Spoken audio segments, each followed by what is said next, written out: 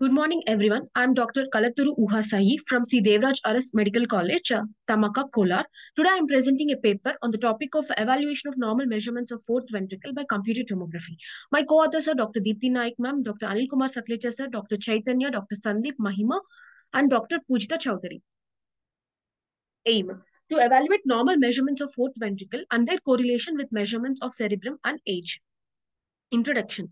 Fourth ventricle of brain, a rhomboid-shaped small cavity containing cerebrospinal fluid, communicates anterosuperiorly with third ventricle through narrow cerebral aqueduct, inferiorly with central canal of spinal cord, and superiorlaterally with subarachnoid space through the foramen of Luschka and Magendie in its roof.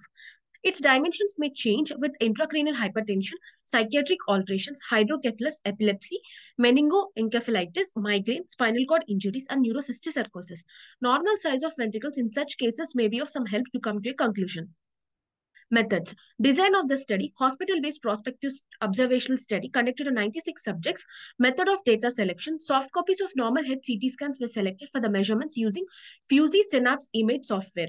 Inclusion criteria. The patients of both sex with age group from 2 years to 60 years. Virtually normal head CT scan. Unenhanced head CT scan. Exclusion criteria. CT scan showing gross pathological changes affecting the normal anatomy of ventricles. Methods. Image selection. For the present study, two images were selected for each patient.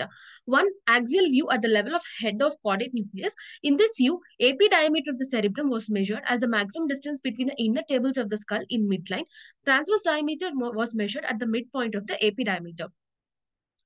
The next view is axial view for fourth ventricle measurements. The view was selected in which uh, pons, cerebellum, petrous bone, mastoid antrum, and temporal lobes were visible to clearly visible clearly along with the widest part of the fourth ventricle.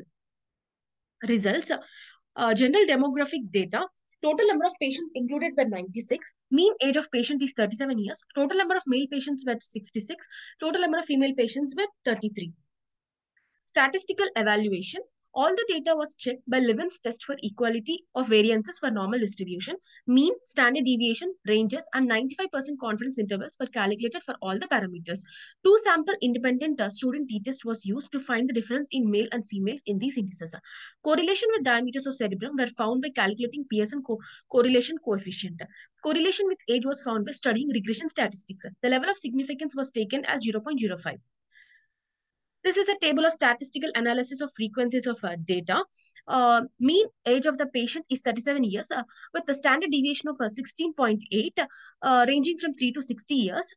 Uh, coming to the AP dimension of the fourth ventricle, mean is uh, 0.75 with the standard deviation of 0.25 centimeter ranging from 0.3 to 1.6 centimeter uh, transverse diameter of the fourth ventricle, mean is a 1.2 centimeter with standard deviation of 0.31 centimeter ranging from 0.6 to 2.1 centimeter. Coming to the cerebral dimensions, uh, AP dimension, uh, mean is uh, 14.5 centimeter with the standard deviation of 0.67 uh, centimeter ranging from uh, 12.8 to 16.3 centimeter. And uh, transverse dimension of the cerebrum, mean is uh, 12.3 centimeter with a standard deviation of 0.6 centimeter, uh, ranging from 10.9 to 13.9 centimeter. T-test is uh, done to find out the difference uh, in males and females in these indices. The difference is uh, significant only in uh, AP and uh, transverse uh, diameter of the cerebrum with the p-value of 0.02 and 0.01 respectively. And the correlation is done with the Pearson correlation coefficient. they in this uh, correlation, uh, only the uh, in this correlation, age is showing a positive correlation with the AP and transverse diameter of the fourth ventricle and negative correlation with the AP and transverse diameter of the cerebrum. And AP diameter of the fourth ventricle is showing a positive correlation with the transverse diameter of the fourth ventricle and transverse diameter of the fourth ventricle is showing a positive correlation with the uh, AP diameter of the cerebrum. But in this scenario, p-value is not significant. Regression uh, statistics is done to find the correlation with age. Uh, this is the regression statistics for uh, AP dimension of the fourth ventricle.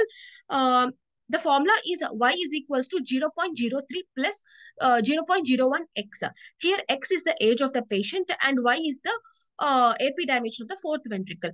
Uh, R square value is 0 0.487 and the constant is 0 0.368. And um, this is for uh, this is a regression um, statistics for uh, transverse dimension of the fourth ventricle. The formula is uh, y is equals to 0 0.835 plus 0 0.012x, where uh, x is the age of the patient and y is the transverse dimension of the fourth ventricle. R square value is uh, 0 0.434 and the constant is 0 0.835. AP diameter of the fourth ventricle. The present study showed mean AP length of the fourth ventricle as 7.5 plus or minus 2.5 mm, the maximum value being 16 mm. Uh, Akbari Vijay et al. by plastination method found the mean height of the fourth ventricle as a 2.29 plus or minus 0.3 centimeter.